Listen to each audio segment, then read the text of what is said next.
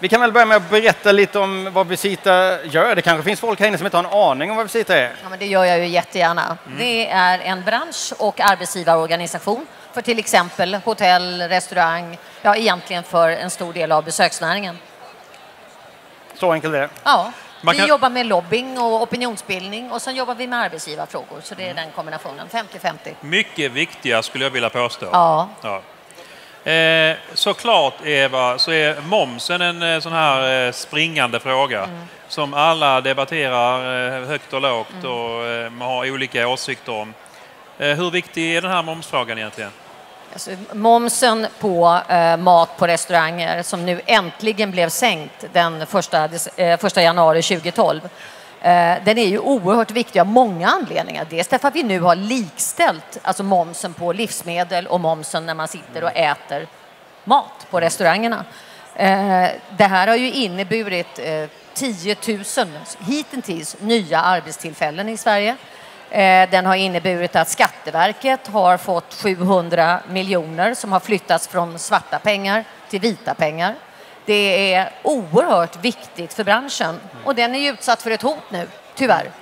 Men känner man så här spontant att är det fler som reser till Sverige på grund av att vi har fått lite bättre eh, restaurangpriser kanske? Att vi får lite mer besök i landet? Alltså vi har ju, det går jättebra för Sverige som, som turistland och besöksland. Är, det tror jag är en kombination av att vi faktiskt har fantastiskt duktiga kockar i Sverige och vi har otroligt bra råvaror.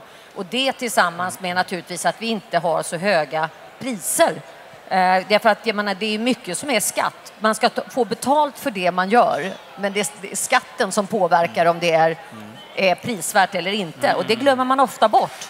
Precis. Det finns ju en annan fråga också som man diskuterar mycket och det är ju det här med arbetsgivaravgiften för de yngre. Alltså, eh, eh, jag, fick något förklarat för mig att om det skulle vara så att eh, det blir ett, ett skifte, ett regeringsskifte, så skulle det innebära en fördyring för hotell och restaurangbranschen på ungefär 7 miljarder.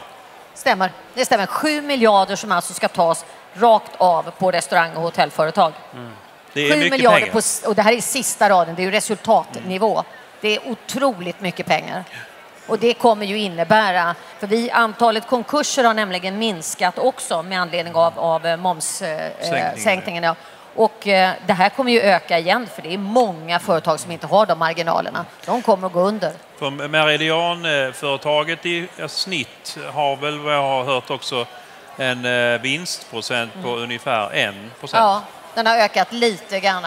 Men det är, det är där vi ligger i median och det, Det, är ju det, inte klokt. det är lågt redan som det är nu. Ja, och det är det jag menar att, att skulle man, gör man sådana här fördyringar med skatter och det är ju oproportionerligt stor mängd eh, alltså skatter som man riktar mot en enda bransch och en bransch som faktiskt är enormt duktig på att anställa just unga människor Ja. och många nya svenskar.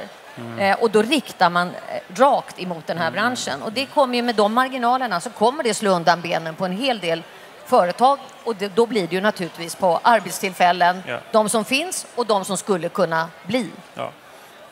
Är det, det är denna- inget, det är inte positivt, det kan Nej. man väl lugnt sagt säga. Är det denna frågan ni driver hårdast då inom Ja, Visita? vi kallar det för dubbelstöten för det är ju två saker.